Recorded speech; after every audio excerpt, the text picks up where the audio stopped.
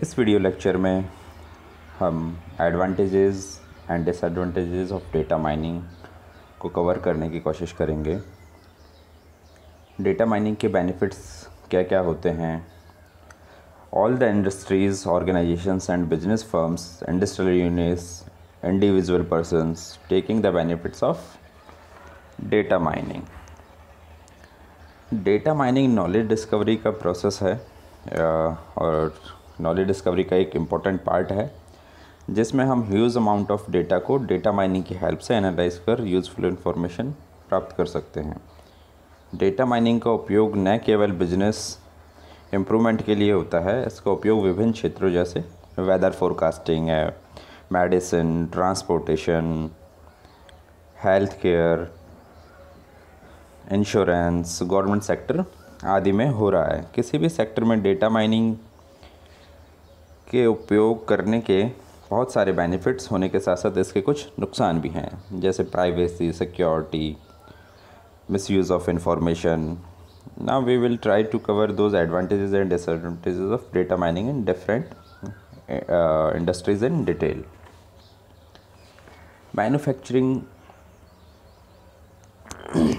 manufacturing में जैसे goods care का ऑटोमोबाइल या डोमेस्टिक यूज़ के प्रोडक्ट मैन्युफैक्चर करने वाली कंपनी में शिपिंग व परचेज़ ऑर्डर के बीच जो वेरिएशंस होते हैं, उनको डिटेक्ट करने के लिए डेटा माइनिंग को यूज़ लेते हैं। सपोज़ जैसे किसी एक प्रोडक्ट के लिए दो अलग अलग कंज्यूमर्स या दो कस्टमर्स ने ऑर्डर किया है और कोई कंज्यूमर जानबूझकर हाई वैल्यू का ऑर्डर प्लेस करता है तो उसे डेटा माइनिंग की हेल्प से डिटेक्ट कर लिया जाता है, जो कि फ्रॉड पर्पज़ के लिए यूज़ किया जा सकता है।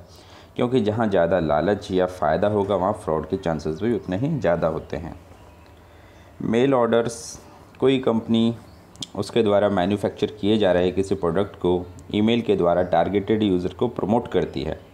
इसके लिए यूज़र्स का प्रोफ़ाइल जैसे प्रोफेशनल कि वो क्या काम करता है, किस तरह के जॉब में है, उसका बिहेवियर उसका इंटरेस्ट किन किन चीज़ों में है, उसकी एज क्या है आदि से संबंधित सूचना हो तो कंपनी अपने बिज़नेस प्रमोशंस को डेटा माइनिंग के द्वारा इम्प्रूव कर सकती है। सुपर मार्केट्स की बात करें। सुपर मार्केट्स में डेटा माइनिंग की आ, मार्केट बास्केट एनालिसिस से संबंधित है जिसे हमने अपने पिछले लेक्चर जिसका title applications of data mining में देखा था। इस कंसेप्ट में किसी प्रोडक्ट के साथ साथ किसी दूसरे प्रोडक्ट को कैसे सेल किया जा सकता है किसी कॉम्बिनेशन में जिसमें डेटा माइनिंग का बहुत अहम रोल होता है।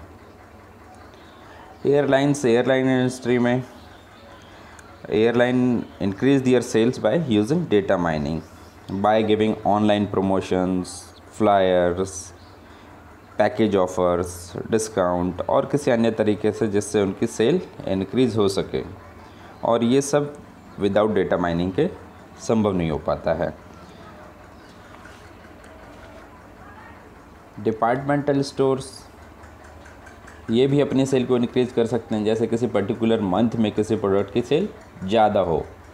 तो उसका पर्याप्त स्टॉक एडवांस में रख कर या किसी स्पेशल ओकेज़न या फेस्टिवल जैसे इंडिया में बहुत सारे फेस्टिवल्स आते हैं तो उनके आने से पहले ही उस प्रोडक्ट को सेल करना शुरू कर दें। इसके लिए डेटा माइनिंग के जो प्रीवियस ईयर्स के डेटा हैं, उनमें हुई सेल का आइडिया लिया जा सकता है।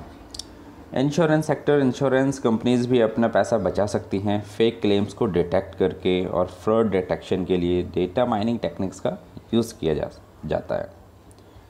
अब बैंक्स किस तरह से यूज़ करते हैं डेटा माइनिंग का? बैंक्स ही सबसे ज़्यादा इकोनॉमी को बूस्टअप करते हैं by providing financial help to the organisations और by giving loan to any individual data mining की हेल्प से बैंक भी अपने बिज़नेस को बढ़ाती हैं। किसी मार्केटिंग कंपनी को चलाकर, जैसे न्यू अकाउंट मार्केटिंग कैंपेन को चलाकर, जैसे न्यू अकाउंट ओपन करके न्यू लोन या अदर फाइनेंशियल सर्विसेज़ को बढ़ा करके, और यह सब डेटा माइनिंग की हेल्प से ही पॉसिबल हो पाता है।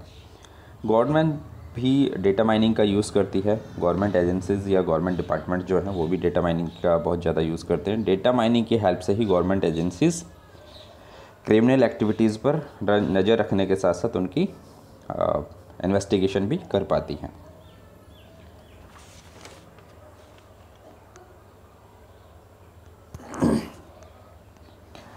बात करें डिसएडवांटेजेस या इश्यूज़ ऑफ़ डेटा माइनिंग तो सबसे पहले प्राइवेसी का इशू आता है। जैसे जैसे इंफॉर्मेशन टेक्नोलॉजी और इंटरनेट का उपयोग बढ़ रहा है, इसके साथ साथ ही पर्सनल डेटा की प्राइवेसी को लेकर भी सभी की चिंताएँ व परेशानियाँ बढ़ी हैं, क्योंकि इंटरनेट का उपयोग आजकल social networking site e commerce forms blogs बहुत जगह बढ़ चुका है।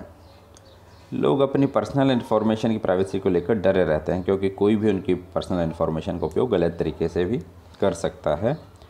बहुत सारी ई कॉमर्स कंपनीज़ भी कस्टमर से जुड़े विभिन्न डेटा का कलेक्शन करके रखती हैं, जिससे वे कस्टमर्स के परचेजिंग बिहेवियर को समझ सकें।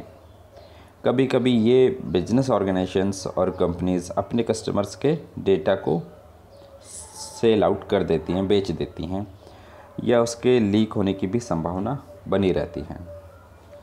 सिक्योरिटी इश्यूज़ इंफॉर्मेशन की सिक्योरिटी एक बड़ा मुद्दा है। आजकल आप किसी भी एजेंसी चाहे वो प्राइवेट सेक्टर की हो या गवर्नमेंट सेक्टर की हो they keep all your personal information like Aadhaar number PAN number bank detail और भी बहुत कुछ।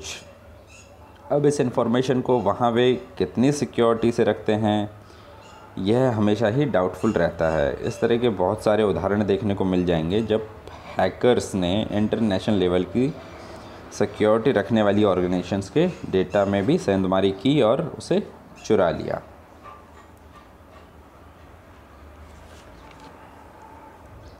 मिसयूज़ ऑफ़ इंफॉर्मेशन या इनएक्यूरेट इंफॉर्मेशन, डेटा माइनिंग में इथिकल वेज में इंफॉर्मेशन को कलेक्ट करने के लिए किया जाता है। जिसके मिसयूज़ होने की संभावना बनी रहती है। इस सूचना का उपयोग हैकर्स लोगों को फाइनेंशियल लॉस पहुँचाने के लिए या उनको, उनका शोषण करने के लिए या समाज में भेदभाव पैदा करने के उद्देश्य से करते हैं।